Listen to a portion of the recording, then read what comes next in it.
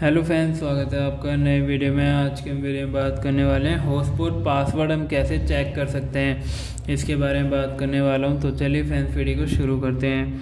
Video को शुरू करने से पहले अगर आप चैनल पर नए हैं तो चैनल को सब्सक्राइब कर वीडियो को लाइक कर दीजिए। फ़ैन जैसे कि आप देख सकते हैं, मेरे पास ये रियल मी का फ़ोन है और आपको सबसे पहले सेटिंग पर जाना है तो क्लिक कर लेंगे। सेटिंग पे जाने के बाद आपको इस तरीके का आइकन शो करेगा। आपको यहाँ पर क्या करना होगा? जैसे कि आप देख सकते हैं, थोड़ा सा ऊपर की साइड स्क्रॉल करेंगे। और आपको यहाँ पर देखने के लिए मिलता है कनेक्टिंग शेयरिंग तो इस पर आपको क्लिक करना है। क्लिक करने के बाद आपको इस तरीके का इंटरफेस शो हो जाएगा। आपको यहाँ पर क्या करना होगा? जैसे कि आप देख सकते हैं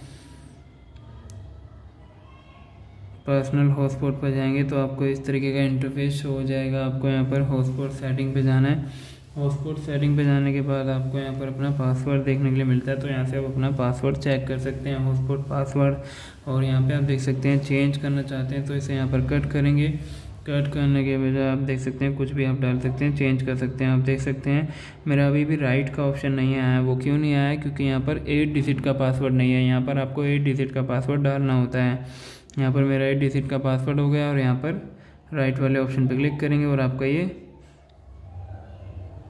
चेंज हो जाएगा। तो इस तरीके से आप इसको चेंज कर सकते हैं और इसी तरीके से आप नेम भी चेंज कर सकते हैं सेट कर सकते हैं, इस तरीके से यूज़ कर सकते हैं।